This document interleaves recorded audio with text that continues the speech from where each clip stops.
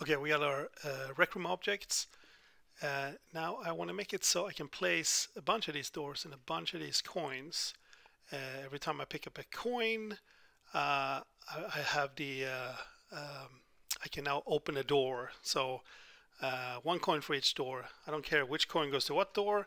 So I need some kind of global coin counter and a way to send messages to if uh, I can lock or unlock these doors. So I'm going to start with, with doing that. I'm going to do uh, a little little system here that's going to live, you know, anywhere, anywhere in the room, but at room level. And I'm going to use events to um, to hook this up so we get less spider web. Um, so first thing I'm going to do is I'm just going to select nothing uh, in the world here in in this uh, in circuit editor. Um, and then I can do, now I'm going to add, let's, let's start by adding some events. Um, so we can do this in, in a couple of ways.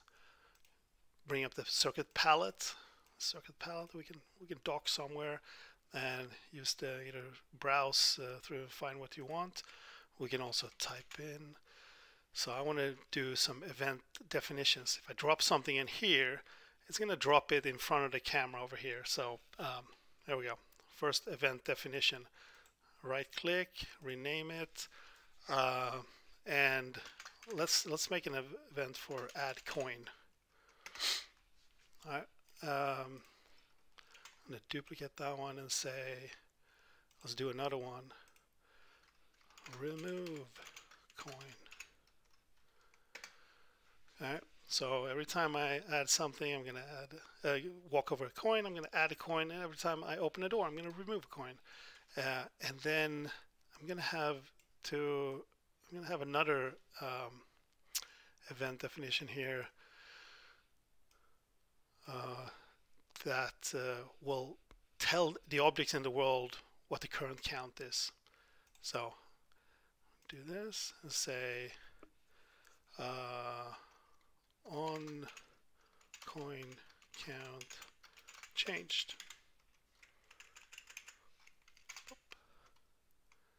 Something like that. All right, got the three, those, those are all global events. So um, they can all be listened to and add you know, and, and, called upon from anywhere.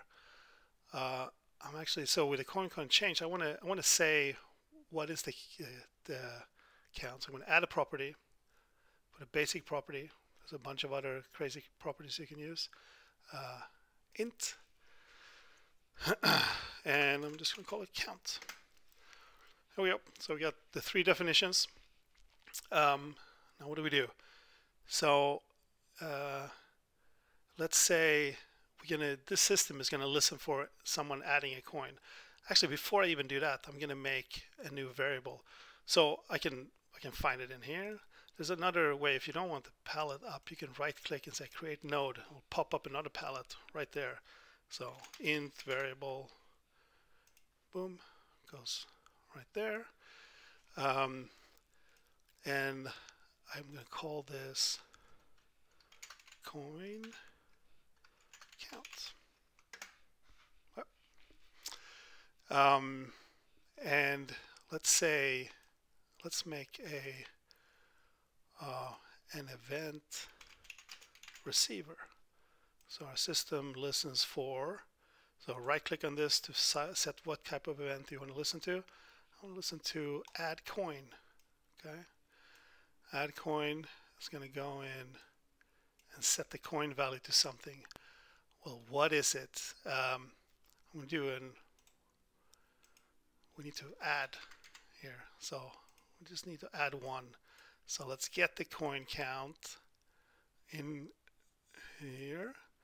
And then this now pops up. You can type in a value here because now I know it's an, it's an int.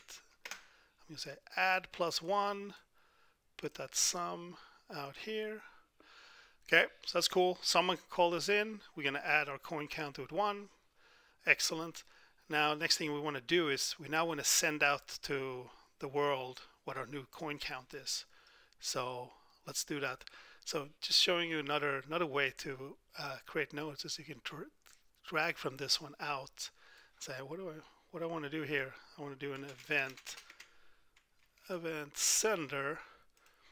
that's going to connect uh, immediately, and it's also going to filter on everything that had executable, which in this case wasn't that that useful, but could be useful for when you have specific types. You want to know what kind of uh, what kind of nodes can connect to this this type, like an AI chip or a button or something.